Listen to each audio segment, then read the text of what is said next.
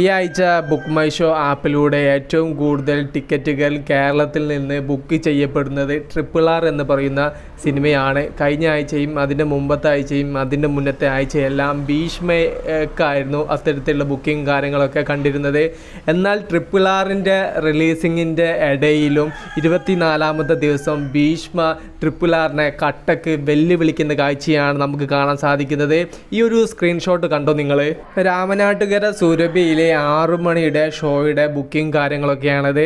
ഞാൻ സ്ക്രീൻഷോട്ട് എടുക്കുന്ന സമയം എന്ന് പറയുന്നത് നാലേക്കാലാണ് സമയം. നാലേക്കാൽ ആവുന്നില്ല. നാലേക്കാലിന്റെ അടുത്ത് ആ ഒരു സമയം കൊണ്ട് തന്നെ നല്ല രീതിയിലുള്ള ബുക്കിംഗ് കാര്യങ്ങളൊക്കെയാണ് ഭീഷ്മയുടെ സുരഭിയിൽ നടക്കുന്നത്. ഈ ഒരു സ്ക്രീൻഷോട്ട് കണ്ടോ നിങ്ങൾ കാലിക്കറ്റ് റീകളിൽ ഏഴ് മുക്കാലിലെ ഷോയുടെ ബുക്കിംഗ് ആണിത് നല്ല രീതിയിലാണ് ബുക്കിംഗ് അവിടെ നടന്നുകൊണ്ടിരിക്കുന്നത്. ഏകദേശം ഫില്ലായിട്ട് തന്നെ ഉണ്ട് ഷോ തുടങ്ങുന്നതിന്റെ മൂന്ന് മണിക്കൂർ മുന്നേ ഫില്ലാവുന്ന കാഴ്ചയാണ് നമുക്ക് കാലിക്കറ്റ് റീകളിൽ നിന്ന് ഇരുപത്തിനാലാം ദിവസമായി ഇന്ന് കാണാൻ സാധിക്കുന്നത്.